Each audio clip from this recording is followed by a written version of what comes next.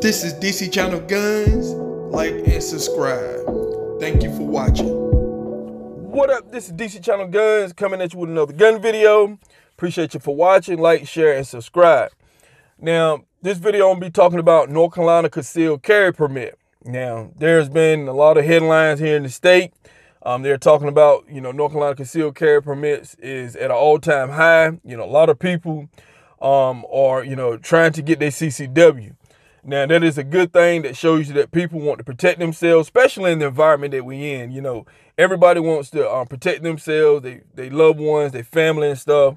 Nobody nobody wants to be a victim, and you know they want to be on the right side of the law. Now, with that said, you know, if you're about to get your CCW, I'm about to give you some good information. I've been having my CCW for um, over 15 years, and first thing you can do right now is start looking at some of your state laws. Look at your state laws. If even if you ain't in North Carolina, start looking at your state laws. Look at some of the gun laws. Look at all that stuff. You know, because when you're carrying a farm, it's a whole nother ball game. You know, there's um, other gun owners that you've seen who don't know their state laws, who are going um, above and beyond what their um, role is as a concealed carrier, and find themselves on the other side of the law. And you know, and, it's costing them um, their Second Amendment rights, and they're going to jail. And you know, that's what you don't want to do. You know, you work too hard to get your CCW, you work too hard for your, you know, to keep your Second Amendment rights. We don't want to just throw them away.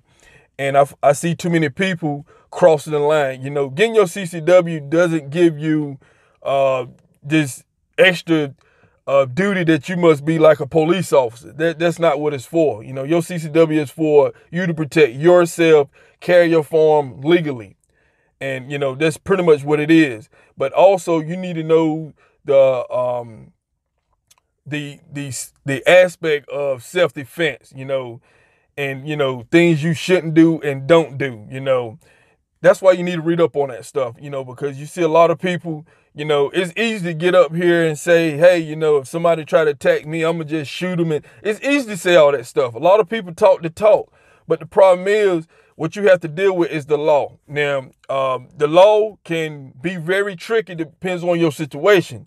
Now, if you in a situation where you fear for your life, about to be bodily harm and stuff like that, you have to do what you got to do. You deal with the law later. That's what a lot of people say, and that's a lot of people do. But I think some things that, you know, people with they concealed carry permit and who's carrying on a daily day basis, I don't think a lot of them people think things through, you know, especially when you get in the heat of the moment. So you need to know your laws. Now, with concealed carry, especially here in North Carolina, there are some places and that don't that that don't allow you to open carry. Now, the reason why I bring that up because concealed carry is a good benefit to that solution.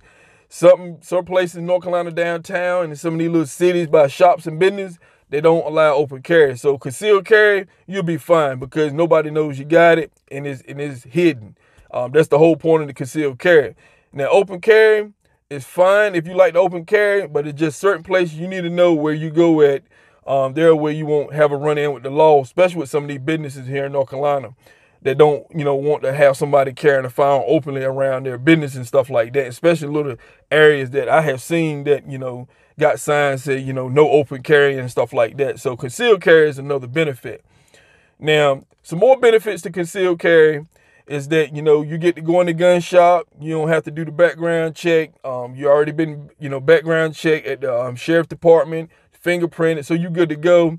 It makes your transaction at the gun shop a whole lot smoother. You know, um, pretty much far as the paperwork and just picking out what gun you want and buying it. It's very smooth. I can probably do that within 15, 20 minutes. Um, so that helps me out a lot.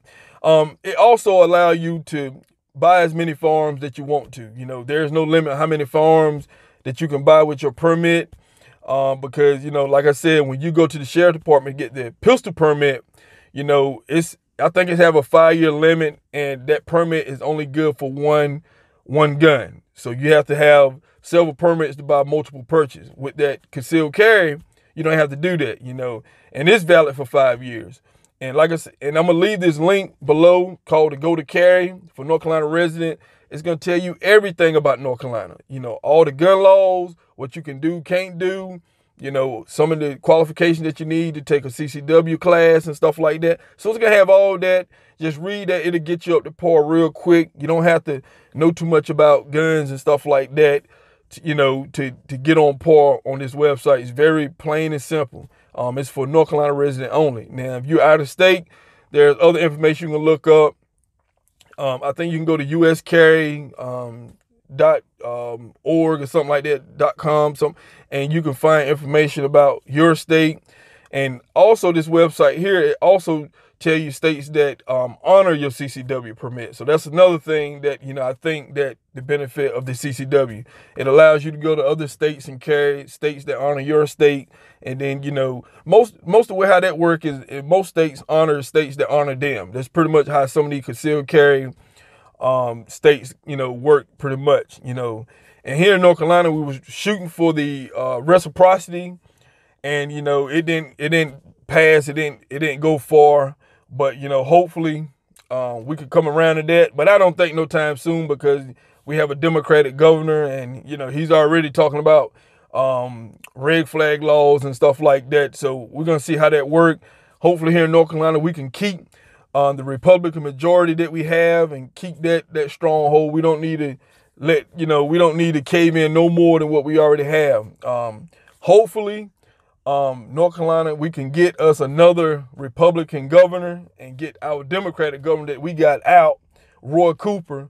Um, you know, so uh, I think he holding up a whole lot of process when it comes to this state for his gun laws and everything. Now, um, getting back to the concealed carry um, situation, you know, like I said, you know, when you're concealed carrying, you must know the law. You must know um, your self-defense range and stuff. You must know your limits. You know, as we've seen in you know recent news, you have other concealed carriers who have made fatal mistakes where they went above and beyond their role of a concealed carrier. When you get your CCW permit, you're not out here to find issues and get yourself in issues and problems where you must defend yourself. That's that's not what your concealed carry permit is for.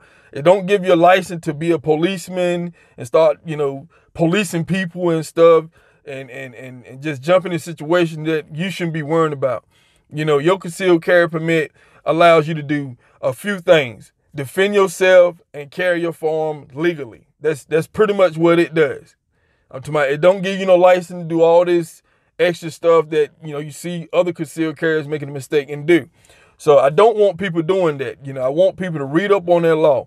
You know, even with me, I read up on my laws all the time because laws change. You know, what you read maybe six months ago can change just like that. You know, uh, the ramifications for self-defense in certain places and states can change real quick because you have lawmakers already, already, uh, well, always creating laws and so that's why you have to stay up on them, just like your taxes. You know, taxes change every year. So, you, you know, you file taxes one way one year, you might have to do them another way the next year. So you just have to stay up on the law. All gun owners should be reading up on their state laws. That should that should be the number one priority.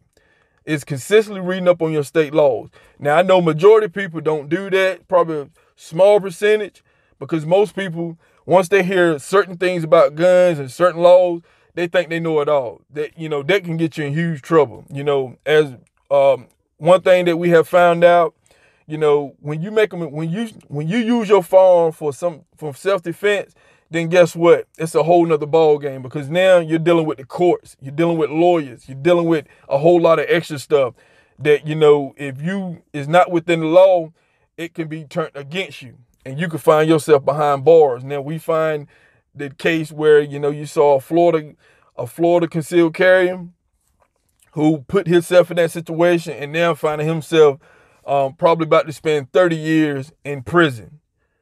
All because he was doing way too much um, as a concealed carrier. You know, he put himself in that position in that situation. And so now he has to, you know, deal with what he did. And so we don't want to be in that situation. And another thing, um, when it comes to uh, as a concealed carrier, first of all, you want to preserve and keep your Second Amendment rights, not lose them and stuff like that. And so when the anti-gunners see situations like in Florida and stuff, they're gonna jump on it. They're gonna find these laws uh, pertaining to all these situations that concealed carriers are making out here. A lot of people probably don't look at that, but the anti-gunner is full steam ahead. You got every candidate, you got all these people just running off gun laws. That's all they're running off of. I guarantee you find any president, well, anybody on the Democratic side running for president, and I guarantee they're running for some type of gun law. I'm, I guarantee you that fully. Pretty much every last one of them. So just want to bring you some of the information. Click on the link below if you're a North Carolina resident want to get your CCW. So this is DC Channel Guns, and I catch you on the next one. This is DC Channel Guns. Like and subscribe. Thank you for watching.